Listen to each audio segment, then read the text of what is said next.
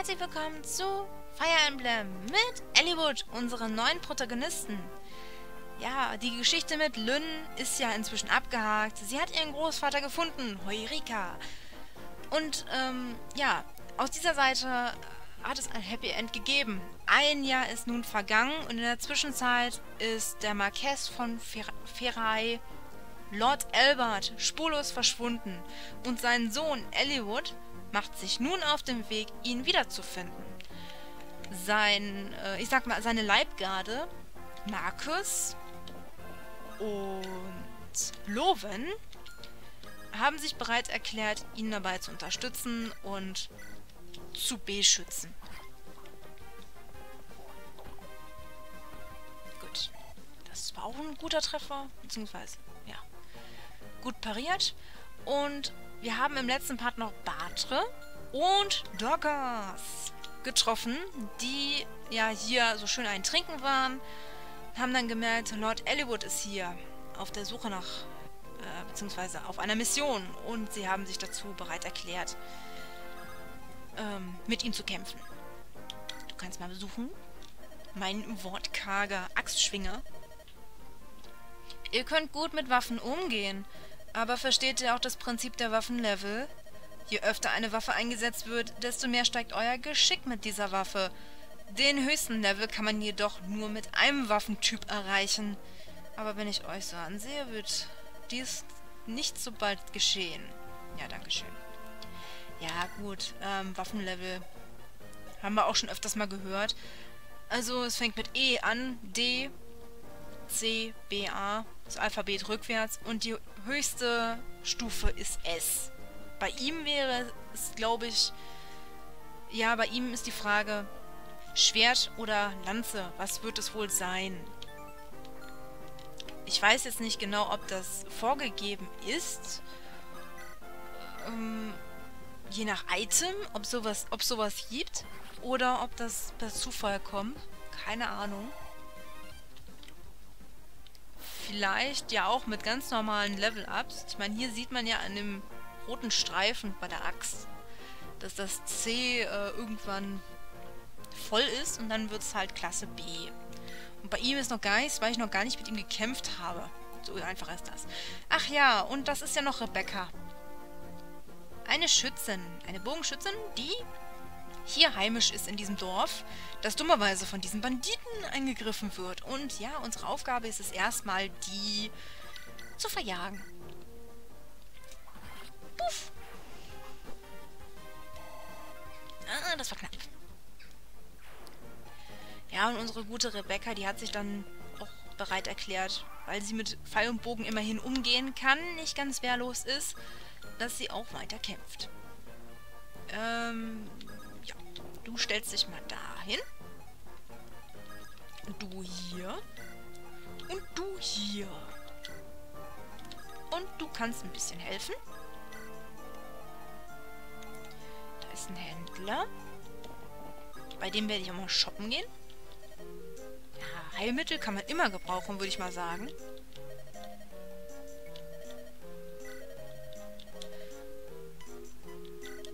Alle Hände voll. Na gut, okay. Ach so, der hat ja noch das Draco-Schild vom letzten Part. Hm, okay. Aber egal, dann können die anderen sich das noch abholen, sag ich mal. Er hat ja auch noch den Energiering. Da frage ich mich nur, ist das zufällig der Energiering, den wir im letzten Kampf bekommen haben, den ich einfach nur vergessen habe einzusetzen, oder ist das ein anderer? Fragen über Fragen. Ein junger Reisender hält sich beim Dorfmagistrat auf.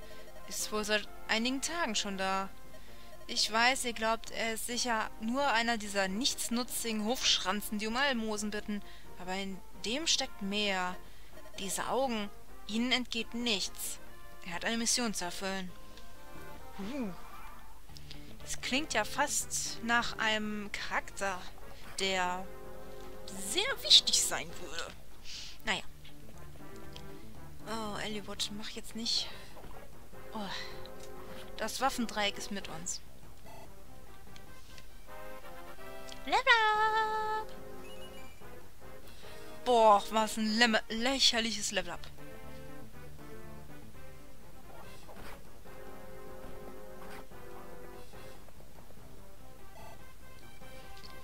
Nur KP, das ist also gerade für einen Protagonisten doch ein bisschen, bisschen erbärmlich.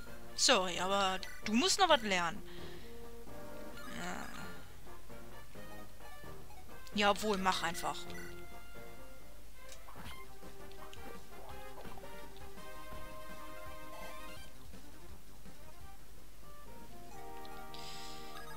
Gut, ähm, ja, die haben mich ein bisschen eingekesselt, aber ich glaube, das kriege ich hin. Ja.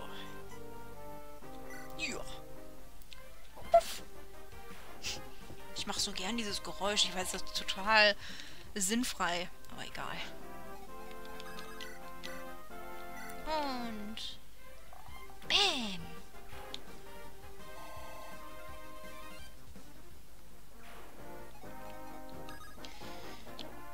So, und direkt aus nächster Nähe. Zwei Schläge und weggesagt. Bams. Und... Bumm.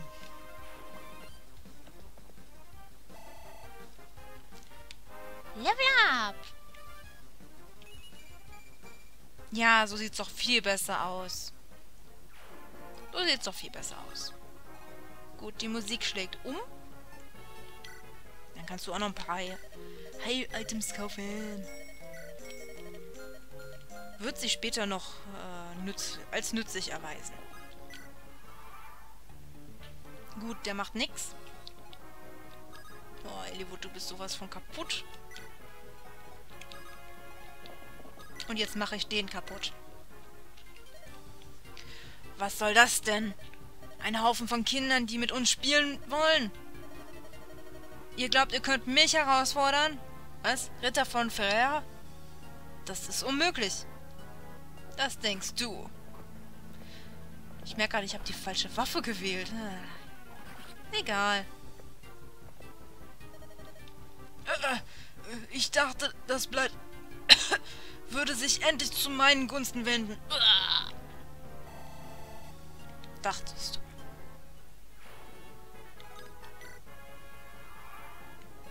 Gut, jetzt haben wir unser Soll hier getan. Was ist hier eigentlich? Das ist nur eine Festung, ne? Ja, okay.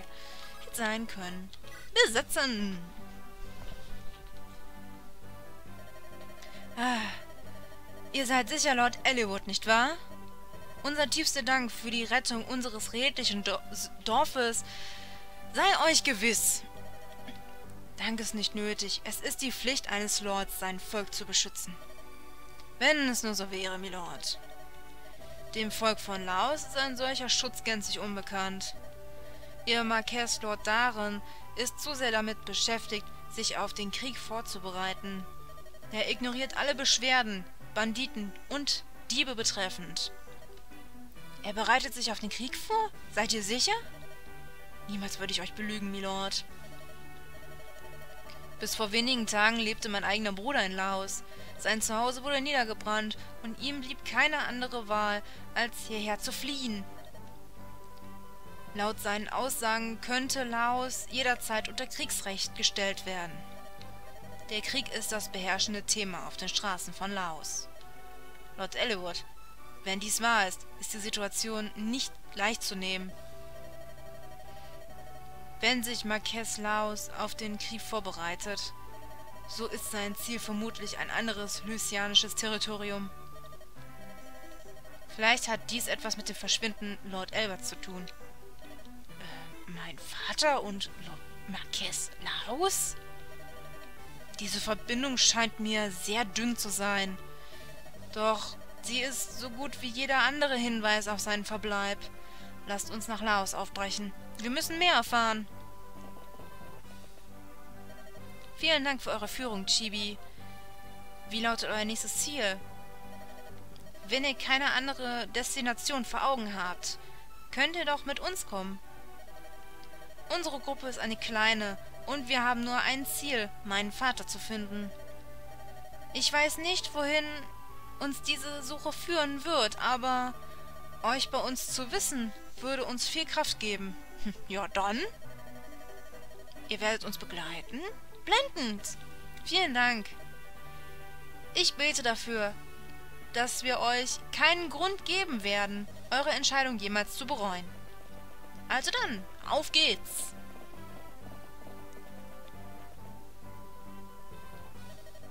Rebecca, wo hast du vor hinzugehen, junge Dame? Vater, ich habe die Absicht, Lord Elliwood zu begleiten. Mach dich nicht lächerlich, Mädchen. Lord Elliwood ist nicht zu einem Picknick unterwegs. Er zieht geradewegs auf große Gefahren zu. Das weiß ich, Vater. Deshalb möchte ich auch gehen. Wir schulden ihm unser Leben. Und ich möchte meine Schuld begleichen. Mein Bogen mag zwar nicht so stark sein, aber ich weiß, dass ich dienlich sein kann. Aber. Und Vater, vielleicht treffe ich auch auf meinen Bruder. Ihr seid der Magistrat. Ihr habt gewisse Verpflichtungen. Ich. Das ist alles, was ich anbieten kann. Ich muss es tun. Bitte, Vater, lasst mich ziehen. Meine Güte, du bist genauso stur, wie deine liebe Mutter war. Es tut mir leid, Vater. In dieser Angelegenheit musst du dich Lord Ellywoods Willen beugen. Gibt er sein Einverständnis, sollst du gehen. Vielen Dank, Vater. Lord Albert war immer gut zu uns. Folge seinem Sohn mit einem reinen Herzen, Rebecca. Diene Lord El Ellywood gut. so wie ich einst seinem Vater diente. Das werde ich, Vater. Tschüss. Jo, wunderbar. Gut. Ähm, ja, wir haben jetzt nur elf, zwölf Minuten rum, würde ich mal sagen. Aber ich würde jetzt doch ganz gerne pausieren. Der Part ist jetzt halt ein kleines bisschen kürzer als alle anderen. Aber, ähm, ja. Habt ein bisschen Verständnis.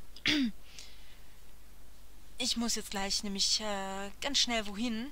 Ich habe jetzt gerade auf die Uhr geguckt und merke, hm, ja, so viel Zeit habe ich dann doch nicht mehr. Und wenn das jetzt ein bisschen länger dauert wegen Dialogen, ja. Also, ich würde sagen, beim nächsten Mal machen wir weiter. Und wenn euch der Part gefallen hat, wieder ein Däumchen nach oben geben oder auch einfach mal so, um mich zu unterstützen. Kommentieren und abonnieren nicht vergessen. Bis bald. Tschüss.